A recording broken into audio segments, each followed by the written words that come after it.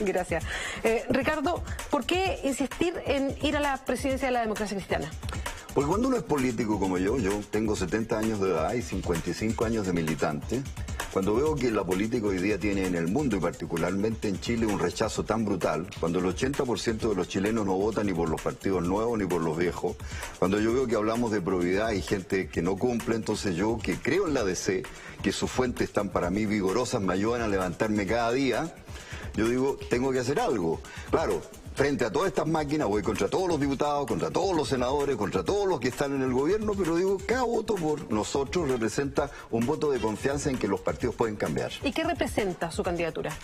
Una propuesta que dice los partidos tienen que recoger el sentir popular y entregar respuestas acorde a sus principios. ¿Qué nos dicen los chilenos hoy día? Que no creen en estos políticos y por lo tanto hay que hacer un cambio y una renovación casi total de los cuadros políticos. Segundo, ¿qué nos dicen los chilenos? Que la gente cuando asume responsabilidad tiene que aprender a asumirla.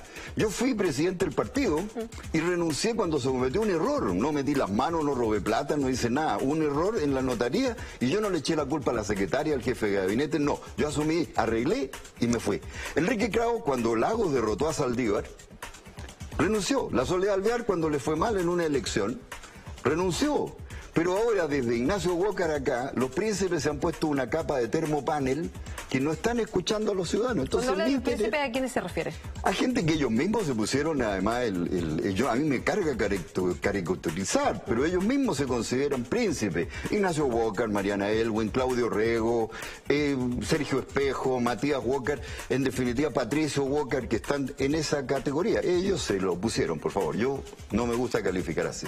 Ahora, ¿cómo ve usted, Ricardo, a la democracia cristiana hoy día? Se lo pregunto por la discusión interna que ha desatado la competencia por eh, la presidencia de la democracia cristiana, pero también se lo pregunto porque usted lidera un movimiento, y ya vamos a hablar de eso, desde hace mucho tiempo, poniendo el ojo crítico en lo que pasa con las AFP. Entonces, en base a su trabajo en ese tema, en base a cómo ha visto el desarrollo del partido de la democracia cristiana en los últimos años, ¿cómo ve a su partido hoy día? Que está desoyendo el sentir popular, de nuevo.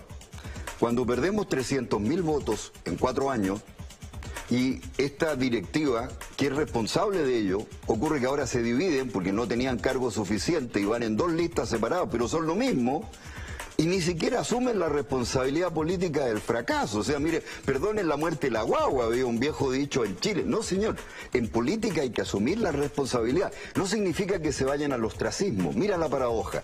Yo creo que, por ejemplo, la Carolina Goich, si la alejamos de todo este eh, contorno de gente que defiende el modelo económico que es rechazado desde el Papa a la mayoría de los chilenos, la Carolina puede ser una carta presidencial nuestra. Es honesta, está menos contaminada con la mayoría de esos temas, pero optó equivocadamente por esta solidaridad personal con los tipos que representan más de lo mismo. Francisco Huenchumilla en la otra lista, a mi juicio sería un senador extraordinario, Pancho, un tipo de calidad. O sea, lo que tenemos que hacer es que los partidos miren los valores que tienen, los pongan en los lugares apropiados y no apliquen cuchillo a todos los que piensan distinto, como ha pasado con las máquinas que están acá. Cuando tú colocas el tema de la AFP, este no es un tema de especialista, es político. Mira, yo que recorro el país, tú dijeras, ¿sabes lo que se necesita, por ejemplo, para doblar el presupuesto en cada comuna, en cada región? En cada eso, yo le pregunto a la gente, podríamos hacer muchas cosas con los fondos de pensiones. Tenemos un presupuesto entero de Chile, Beatriz, fuera del país.